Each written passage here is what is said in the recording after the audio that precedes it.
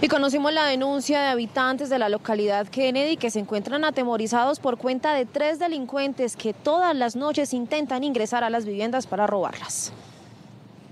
Observen a estos dos hombres y una mujer. Según la comunidad, esta escena se repite cada noche en el barrio El Carmelo. Bajo la modalidad escalera, intentan ingresar a las viviendas y en otras ocasiones intentan forzar las puertas y las ventanas. Este eh, tipo de hurtos que vienen haciendo en el Carmelo y alrededores de la localidad de Kennedy inclusive. Estos personajes han sido detectados en diferentes partes de la localidad de eh, Kennedy.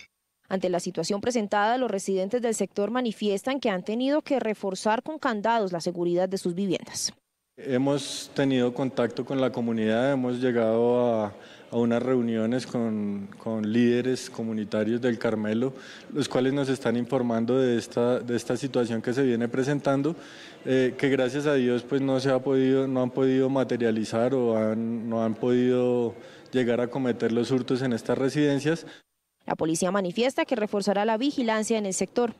Hemos reforzado, hemos tenido un apoyo de personal importante y hemos podido reforzar eh, este, toda esta jurisdicción del CAI Britalia. La comunidad también manifestó que creó una red de apoyo exclusivamente para dar con la captura de estas tres personas.